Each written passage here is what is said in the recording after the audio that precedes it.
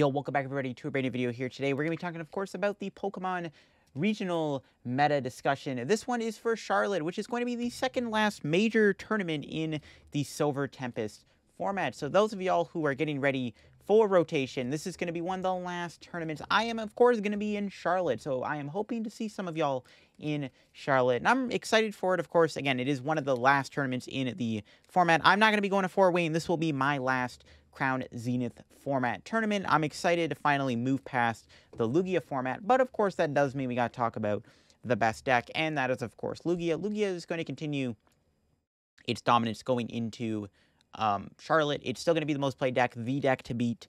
Um, there are some interesting meta developments, though, that have happened since. So there are some really interesting things that are affecting Lugia overall. But Lugia definitely is still going to be the deck to be going into Charlotte. It's still the BDIF. Um, no one's going to deny that it is still the best deck in the format, and your deck has to beat it. Now, there have been some interesting Lugia decks that have popped up. There's been some weird ones. There's been, like, Lugia with Greedent VMAX, uh, which I kind of like. There's, like, Gre there's Lugia with, like, Morpeko Weezing, and, I don't know, there's, like, Lugia with a lot of different uh, ways to play it. Because, I mean, to be fair, Lugia is a very versatile deck. I mean, obviously, the, the build I got here is Ian Rob's uh, Vancouver winning list, uh, but Lugia definitely has other ways to play it, and uh, I'm interested to see what other things people cook up because theoretically there are a ton of ways to play it. It can use special energy, it can use any energy. And then we can talk about the other deck. Now, I think Mew VMAX is kind of on the upswing right now, uh, basically because of the way the meta is. The format is kind of shifting less away from Lost Box. I think Lost Box has been kind of dipping in uh, performances recently. I mean, we haven't seen Lost Box in top eight in the past couple big tournaments. Um, Lost Box has been kind of falling off a little bit, uh, which is pretty interesting. And this is because of decks like Duraludon and Goodra, uh, both of which making a pretty good performances in the past couple major events. Of course, getting two different top eights. And I mean, a lot of people kind of wrote off decks like Goodra and Duraludon as not being very good. And all of a sudden, now they're doing really well in tournaments, and Lost Box is nowhere to be seen in the top eight. And this is also good for Mew because if Goodra and Duraludon are going to do better, that means Mew can also do better, as Mew has a pretty good matchup against those two decks. I think Mew has a good Duraludon and a pretty good Goodra matchup. The Aerodactyl build of Mew especially is probably the best way to play it right now. If I were to personally sleeve up Mew, I would play it with Aerodactyl because it just gives you a better matchup against Lugia, helps against Drapion in a weird way. Uh, but Mew's pretty good right now. Definitely kind of the, I feel like it's just like the safe deck to play that isn't Lugia because like it's a very easy deck to play. Well, not easy to play, but easy to pick up, easy to get into. A lot of people are familiar with Mew. So expect to see maybe a bit more Mew than you're used to. And that's a big deal, I think, going in to um, Charlotte is, yeah, just expect a lot more Mew. I think Mew is definitely on the upswing right now. Um, and that's because of decks like Arcdura doing really well. I mean, obviously, Arcdura is performing really well. It won over in Utrecht. So it's definitely a very good deck at the moment. I think a lot of people are just not really respecting it.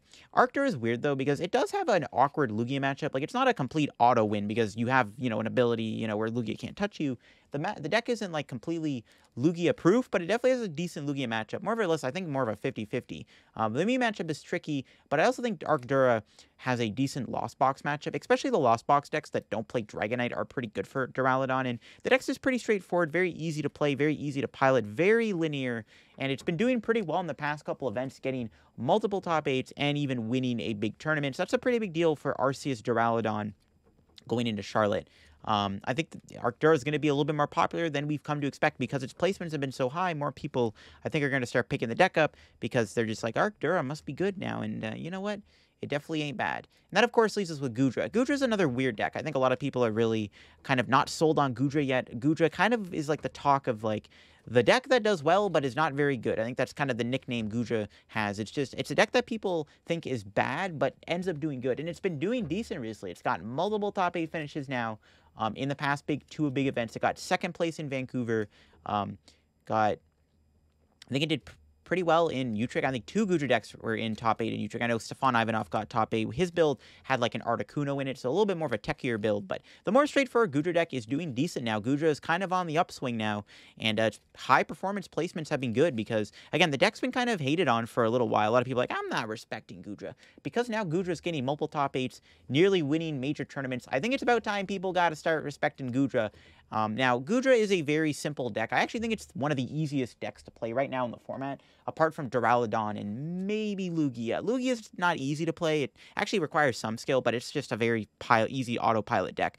But if you're going to play a Lost Zone deck, I think Goodra is one of the easier ones to pilot. It's a very straightforward deck. I mean, all you're really doing is trying to get Goodra down, trying to get, you know, Rolling Iron going. You know, you have the Temple Sinnoh, you have the, the Roxannes. Three bosses, what's under my webcam here. Um, is just very good. Um, right now, in my opinion. It definitely kind of was hated on, but the fact that it's doing good and kind of scaring off Lost Box, I think is one of the reasons why Lost Box hasn't been making as many top eights. It's decks like Goodra, Duraludon have been scaring Lost Box off. But yeah, Goodra's pretty solid right now. I definitely think you might actually have to respect it going into Charlotte.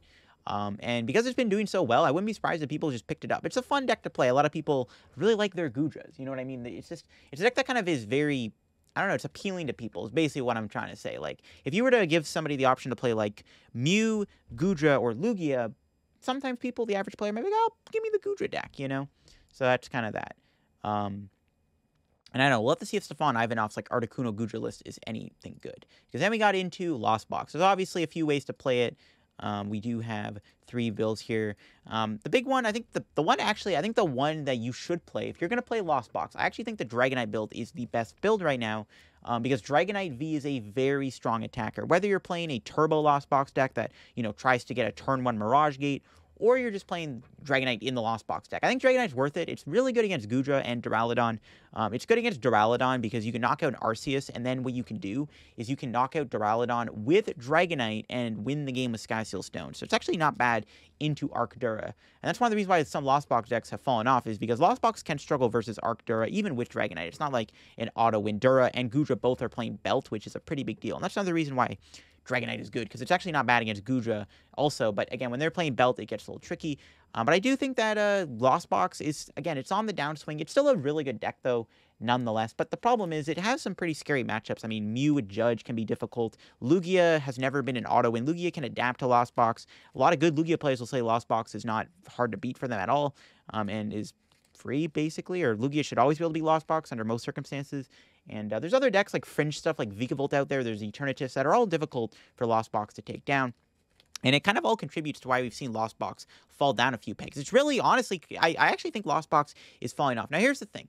Despite it not doing as well as it has been in the past, despite a lot of big anti-Lost Box decks doing well, Lost Box is still going to be popular because it's a deck that there's so many ways to play it. I still think that the second most played deck in Charlotte is going to be Lost Box. I mean, I don't think anyone's going to deny that. Whether or not the deck is good right now is a different story, but definitely I think that the, the deck itself is falling off, but it's still going to be popular because a lot of people will just play it because. Um, you got the Dragonite build, you got the Rayquaza build here. Rayquaza's okay. Um, it doesn't seem bad into Dura. Goodra is a little bit more trickier because it's hard to beat Goodra when they drop the uh, when they drop the uh, the Roxanne on you. Um, because you can get through a Goodra with Rayquaza, but then they Roxanne you. Duraludon is not as bad. You can knock out Duraludon pretty easily with Rayquaza. The Giratina is interesting um, because Giratina can help against like Goodra, but the problem is when they have Choice Belt, it's not good. But maybe you play Giratina V-Star and Rayquaza. I don't hate that you know, Giratina V-Star could be pretty good in the deck. It gives you like another out to Goodra and Duraludon. And then, of course, we do have the Lost Dogs deck. This is the one that I'm actually kind of interested in. Lost Dogs is okay. The problem with Lost Dogs, though, I think that it is not very good into Goodra or Duraludon right now. Your main attackers are Raikou and Zamazenta, and you have Sableye and Cram. There's no other real attacker. It's just those kind of three. There's no water energy in the deck for Greninja, so you're just really attacking with these four Pokemon. And the deck itself has a worse matchup into Goodra and Duraludon. While I do like this Lost Dogs deck, I think it's better in a format where Goodra and Duraludon are not consistently making top 8 and doing well in tournaments right now. And of course, we have Eternatus. This is a deck that I think is honestly kind of insane right now. Uh, Weezing is really good into Lost Box. And again, despite Lost Box falling off and not doing as well, people are still going to play it. Again, it's still going to be the most, it's the second most played deck. Just because it's falling off doesn't mean it's not going to be the second most played deck, in my opinion. Um, and Weezing farms them. Weezing's not bad into Goodra either, in my opinion. Uh, E-Turn actually has a pretty decent Goodra matchup, especially with the double escape rope in the deck and the heavy hand disruption alongside the Weezing. Um, I think E-Turn's okay into Duraludon. Obviously, I think it's really good against Mew. Um, Drapion is one of the best ways to beat Mew because you can go like Drapion, E-Turn, and they have to respect Drapion, and they won't kill. They might have to cuss around the Drapion. If they do that, Drapion lives, so it's like kind of awkward for them. Um, and I think E-Turn also has a okay Lugia matchup as long as they don't break the lock on the second turn of the game. You know what I mean? So I think E-Turn's actually pretty solid right now. I actually think it's a legit decent deck. It's kind of insane to be honest for Charlotte. It's also one of E-Turn's last major tournaments where it can see play. So this old school Sword and Shield era deck, you know, one last ride in Charlotte. Who knows? I definitely think E-Turn's kind of good though. Um, because again, you can pick up a Lost Box decks. I think it has an okay matchup versus Goodra and Dura, and I also think it has a pretty solid Mew matchup. We got Regis. Regis unfortunately is on the downswing. Um, I will say right now, I will not be playing Regis to Charlotte. Um, I know a lot of people know me as somebody who likes to play Regis. I've played it for the last couple tournaments in Orlando, Knoxville. It's gotten me points. The problem is, I think that it's actually a little bit worse in the format. Again, I think there might be too much Goodra, and even Duraludon is still a sketchy matchup. Duraludon's not that bad because, like, you have Path plus Gigas, but Dura can still be difficult, in my opinion. Like, Dura can still kind of be an uphill battle for this deck. You would be surprised. Um, but yeah, I think Regis has dropped down a few pegs. I don't think it's as good as it used to be. It's actually better in a format where Lost Box is the second best deck on a list like this. So unfortunately, I think Regis has fallen off a little bit. Also, um, it just it literally just can't be Goodra. Like if I'm gonna run into at least two Goodras, I ain't playing Regis at all because I ain't beating that. So personally, I'm not playing Regis to Charlotte. I'm gonna say right now I will not be playing Regis to Charlotte. Still not a bad deck though. Like if you're just gonna hit a bunch of Lugias and you can still hit Arcdura, but it's not ideal. I think it's fine against Mew. Um, yeah, we'll have to see. But I, I definitely think Regis just isn't as good as it used to be anymore. Um, and also Ice Cube's also starting to be, you know, a little bit see more play. And then of course we got Vikavolt. Vikavolt's fine right now. Whoops. Vikavolt is fine right now. Um, it's nothing really crazy right now in the format. It's just kind of fine. The Vega Hammers deck is kind of the new talk of the Vikavolt engine, using Crushing Hammer in the deck to try to move energy. Um, the Path are obviously good. Uh, Vikavolt's fine right now. It's it's a good deck. Um, it beats Lost Box. And again, just because Lost Box is falling off doesn't mean it's not going to see a lot of play. People are still like it's still going to be the most second most played deck, even though it might not perform as well. It's still going to be super duper popular and Vikavolt is still good against it. The issue with Vikavolt is it has a pretty bad Duraludon matchup. Um, its Dura matchup isn't ideal. Even with Hammer and Path, it's still not great. And also, I think it also struggles against Goodra sometimes. If Goodra can set up, it's tough to beat. I mean, we've seen Vikavolt, like, on stream beat Goodra before, but I still think Goodra's not ideal for the deck. So, it's an okay deck. Um, you know, I think that the Hammer build is probably the way to go right now, just because of how, like, popular Goodra and Dura might end up being. And because those decks are doing well now. Um, then, of course, is Palkia, another like sleeper deck that is still kind of solid. Uh, Palkia is weird though because I don't know if it has a good matchup into Goodra um, or Dura. I mean, the do Goodra Dura matchup's like not terrible, but not great either. I mean, you probably have to go back to playing the Crabominable in the deck. Articuno's still good. Actually, Lugia is starting to cut the Bird Keepers again, so like Articuno's kind of insane. And if they're playing like one escape rope, that's fine. Escape rope isn't going to like stop Articuno because it's not like, you know, they have to have rope and boss in the same turn essentially. So I think Articuno's still kind of nuts right now. Um, in fact, that's why like Stefan Ivanov played Articuno in his Goodra deck. Um, so I actually really like Articuno in the format. I think Articuno is actually pretty good right now. Um, and I think Palkia is still like an okay deck. I think you have to play the Crabominable. You probably have to play Cape Crab so you can counter um, Choice Belt. But uh, yeah, Palkia is still solid right now. I think it's still a decent deck in the format, and I definitely would still say that it's not bad to play. It's a very, it is a, a high skill deck in my opinion. Definitely a deck that does require a little bit of thinking and skill, and can be tough to play. But definitely think Palkia is not bad going into Charlotte still. And the Ice Cube could be good too to clean up like Regis and stuff. And then of course, I want to talk about some fringe rogue decks here. We'll start things off with some Arceus decks. We got uh, Arc Bees. Now this is a deck that got top eight in Utrecht, and uh, it's kind of weird. This is a very very kind of a dated deck to be honest. Like an Arc B deck doing well is something that we haven't seen in a very long time. Um, since Astral Radiance actually is when this deck fell off, but it rebounded and got top eight in a you know in a decently sized tournament. Now, definitely an interesting archetype. Obviously, Beedrill is really good against Lugia and good against Mew VMAX. Um, that's really about it. there's other, I guess there's other special energy out there. I guess it's actually not bad in a Vikavolt, but you get item locked anyways. But Arceus is just also decent. I mean, hey, if you don't get like Body by Lugia, you know, get an Arc in play, it's not bad. Charizard is decent too, of course, into the matchups where Arceus is good. Obviously, a big one being um, that it's good against V-Stars. Um, could be good against Dura too. Um, I definitely think this deck is kind of cute. Um, is it great? I'm not sure on that. I mean, just Beedrill doesn't give you an auto win against Lugia. Lugia can still play like a single prize deck, um, but I still like this deck. It's a really cool idea, and it is cool to see that it did well. Um, I'm sure people are going to play it to Charlotte because they it's the end of the format. They don't care as much. It's, it's a cool archetype. People like cool archetypes. Um, next up, do we want to talk about the Flaaffy deck that also saw um, some success in uh, Utrecht. Uh, Flaaffy Box is interesting. This is a deck that kind of capitalizes on maybe the downfall of Lost Box. Yes, it does play the Vikavolt, but one Vikavolt V, actually not playing Zapdos, kind of can make the Lost Box matchup, I guess, more trickier, but definitely a really cool deck. Um, it is cool to see Flaaffy Box do well. Interesting, this list playing a bunch of V Pokemon. You got the Raichu, the Vikavolt, the Drapion, and the Luxray V. Also playing double Zekrom. Really good against Lugia right now. Again, Lugia is cutting Birdkeeper. Yeah, Flaaffy Box isn't a bad idea. Would I play it personally? I'm not sure. I, you know, would be hesitant to play it, but it definitely doesn't seem like an uh, it doesn't seem like a terrible deck at all. It's surprisingly could be an okay deck for Charlotte. If you want to play something fun, this actually could be a good deck to try out. Um, the Medicham V is also really cool too. Um, Yoga Loop is actually not bad right now in my opinion. So yeah, Flaaffy Box could be a decent deck to play right now in my opinion. I wouldn't hate I wouldn't hate it. Don't hate it at all. I like it. I think it's a cool deck and uh, I rate it. It's pretty cool. Again, its main issue could be Lost Box. Yes, Vikavolt's in the deck, but like again, it's just Sableye always sucks. But you know, could be all right. So interesting for sure. Next up, we got Control. Wanted to talk about Control. Control's in an okay spot right now. Uh, Control does have to deal with uh, Dura and Goodra, which both play Bell, so Eldegoss looping is not as easy anymore.